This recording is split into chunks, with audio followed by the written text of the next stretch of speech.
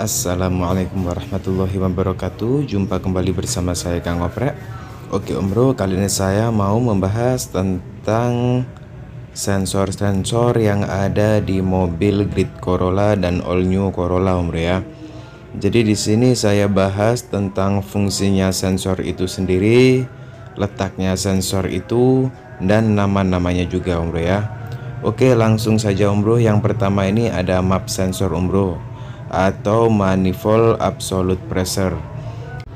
Fungsi map sensor ini adalah untuk mengukur besarnya udara yang berada di dalam intake manifold umbre ya. Sedangkan posisi map sensor ini berada di bodi bagian belakang nempel di bodi di belakangnya intake manifold umbro. Yang kedua ada sensor idle up atau up AC Om Bro. Ini letaknya berada di sebelahnya map sensor Om Bro ya.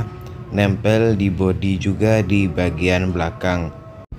Untuk fungsinya sendiri idle up AC ini untuk menstabilkan putaran mesin ketika mendapatkan beban waktu AC kita nyalakan Om Bro ya. Oke, yang ketiga di sini ada TPS Om Bro ya. TPS sensor atau throttle position sensor. Posisi TPS ini ada di throttle body Om Bro ya. Dia nempel di bagian sebelah kanannya throttle body.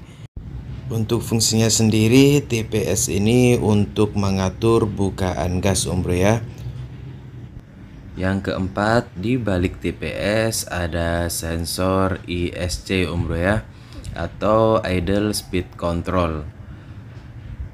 Idle speed control ini juga nempel di dot di throttle body di bagian sebelah kiri Bro. Untuk fungsinya sendiri seperti namanya Bro ya, idle speed untuk mengatur udara saat gas tertutup atau saat posisi mesin dalam putaran idle om bro ya.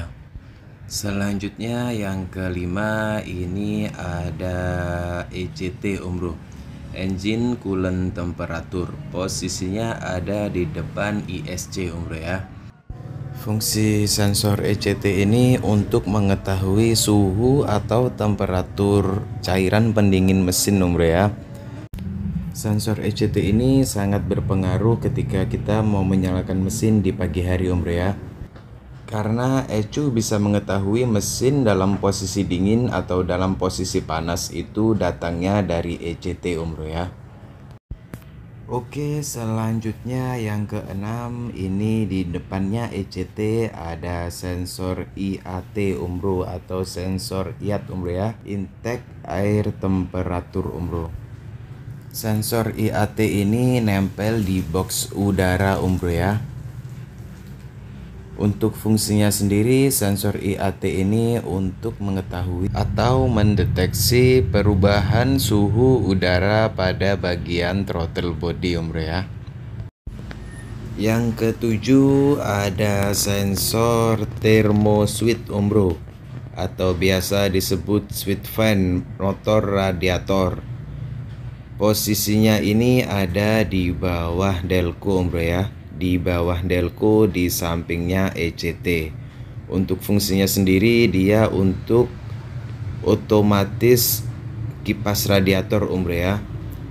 Jadi kalau umbro kipas radiatornya nyala terus tidak bisa otomatis umbro cek di bagian termoswitchnya ini umbro yang ke delapan ada switch oli umbro ya atau oli pressure atau pressure oli. Ini posisinya ada di bawah knalpot umbro di sampingnya filter oli umbro ya.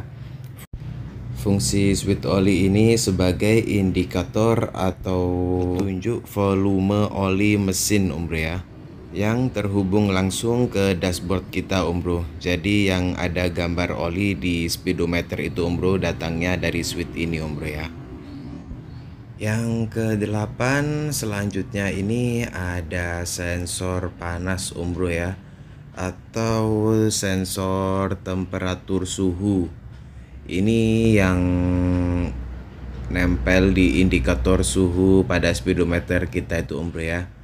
Jadi posisinya ini ada di bagian bawah intake manifold om bro di sebelahnya tabung oli power steering om bro ya untuk fungsinya sendiri seperti yang kita ketahui kalau mesin panas atau airnya panas mesin terlalu panas akan menimbulkan overhead dan temperatur naik di bagian dashboard atau speedometer kita itu datangnya dari sensor ini Om Bro ya.